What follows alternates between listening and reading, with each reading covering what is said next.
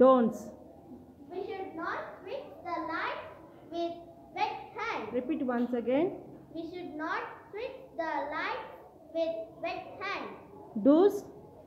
We have to keep our hands dry before switching the light. Repeat once again. We have to keep our hands dry before switching the light. Yes.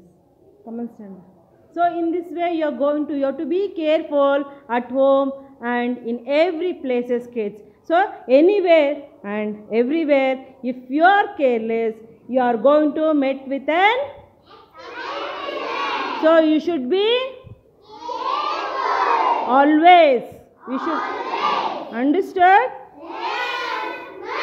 Did you all like this activity? Yes. shock laga laga